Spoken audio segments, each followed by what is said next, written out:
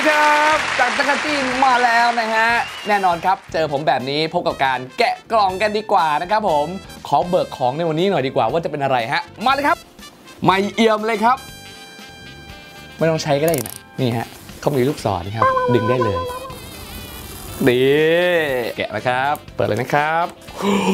MacBook โลโก้ยังสีทองเลยครับ New MacBook นะครับ ปี 2015 ฮะ เรามาดูกันฮะ เป็นยังไงครับ ดันด้านข้าง 2 อันนะฮะ แล้วตัว MacBook จะโผล่ขึ้นมาครับ หน่อยหนึ่งเห็นไหมฮะ ว้า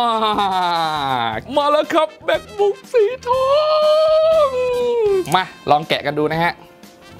แกะไงดีล่ะ มือสั่นเลย ทุกคนอย่าจ้องสิครับอื้อหือ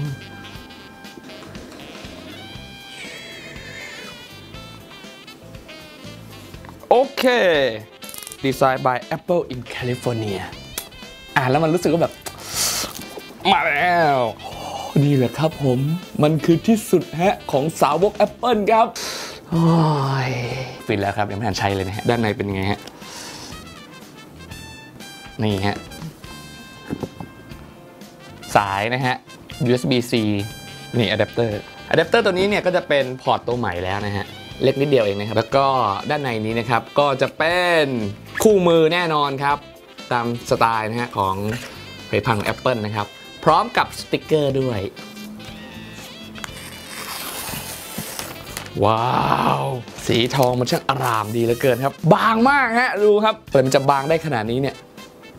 เดี๋ยวขออะไรมาเทียบหน่อยสิฮะ จะได้เห็นกันชัดๆนะฮะ มาเลยครับ นี่ฮะ เฮ้ย ตัวของ MacBook เนี่ยมันดีไซน์คือ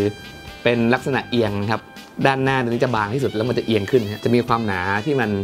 มากกว่าทางฝั่งนี้นะฮะ เดี๋ยวผมจะลองค่อยๆ เลื่อนปากกาให้ดูขนาด กันจะๆเลยนะฮะว่าความหนามันขนาดไหนเทียบกับปากกานะครับ เห็นไหมครับ มันค่อยบางกว่าปากกาแล้วนะครับโอ้โหนี่บางกว่าปากกานะฮะแล้วก็เบาด้วยนะฮะ เนี่ยถ้าเกิดผมถือฝ่ามือเดียวนี่คือแบบเลยฝ่ามือมาหน่อยเดียวเองนะขนาดของ MacBook เครื่องนี้นะฮะสิ่งที่แตกต่างจากรุ่นก่อนๆนะครับก็คือโลโก้ของ Apple ครับจะใช้เป็น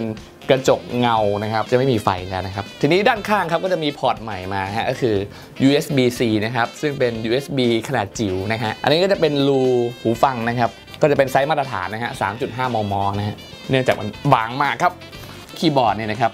ก็จะเป็นรุ่นใหม่แล้วนะครับ เรียกว่าเสมอไปกับตัวพื้นผิวของตัว macbook แล้วนะครับ แต่ว่าเวลากดเนี่ยก็ยังได้ความรู้สึกว่ามันลึกลงไปไม่ใช่เป็นแบบทัดนะครับนี่เป็นแผงลำโพงนะครับลองดูขนาดหน้าผมนะครับกับขนาด macbook ฮะใกล้เคียงกันมากเลยนะครับโอ้โหมัน